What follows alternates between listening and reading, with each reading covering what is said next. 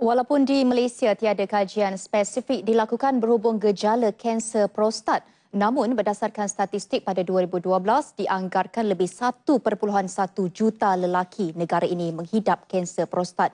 Ia diletakkan sebagai pembunuh lelaki nombor empat selepas serangan jantung, kencing manis dan darah tinggi. Persatuan Kanser Amerika Syarikat menganggarkan 26,000 daripada 180,000 penghidap kanser prostat berakhir dengan kematian. Biasanya di awal tahap kanser ini tidak menunjukkan sebarang gejala, namun kehadirannya dibayangi melalui penyakit jantung, kencing manis dan darah tinggi.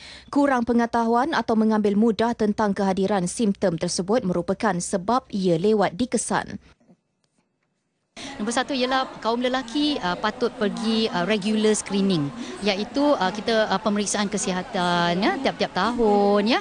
Dan uh, kerana pre, uh, penyakit ini selalunya terjadi kepada orang lelaki yang dah berumur 50-an tahun ke atas eh. Nombor dua ialah menjaga pemakanan ya uh, makanan seperti daging ataupun tenusu uh, mungkin jangan terlalu banyak mungkin ya uh, kerana ini adalah makanan yang uh, nampak nampak uh, mungkin tidak berapa sesuai lah tentang kegemukan ya. Uh, satu ialah uh, kegemukan ataupun obesiti ini meningkatkan lagi risiko untuk uh, uh, lelaki lah mendapatkan uh, apa tu uh, penyakit uh, bara seperti bara prostat inilah eh.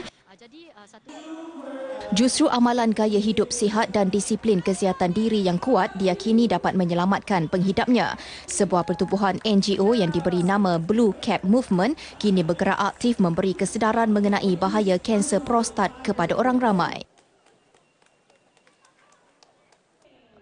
Bagi saya, saya tak ada prostate uh, problem.